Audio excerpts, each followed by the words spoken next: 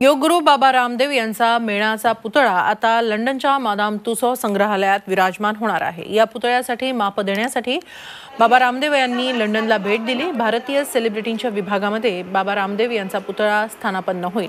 Amitabh Bachchan Shahrukh Salman Aishwarya Rai Katrina Kaif पंतप्रधान Narendra Modi master blaster Sachin Tendulkar या भारतीयांचे पुतळे या विभागात आहेत.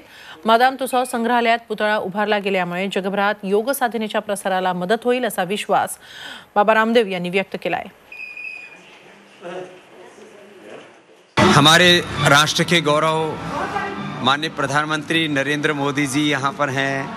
ट्रंप साहब इधर हैं, मेरे पीछे आप देख रहे हैं। और सचिन तेंदुलकर जी हैं, सलमान जी हैं, शाहरुख जी हैं, अमिताभ जी हैं। और हमारे भारत के साथ साथ दुनिया के सारे स्टार्स यहाँ पर हैं। अब इन सारे स्टार्स के बीच में योग को, अध्यात्म को, ऋषि परंपरा को भी गौरव मिलेगा।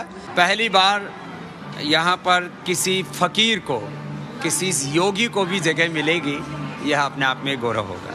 श्री चोवीस तास, रहा एक पाउल पुढे।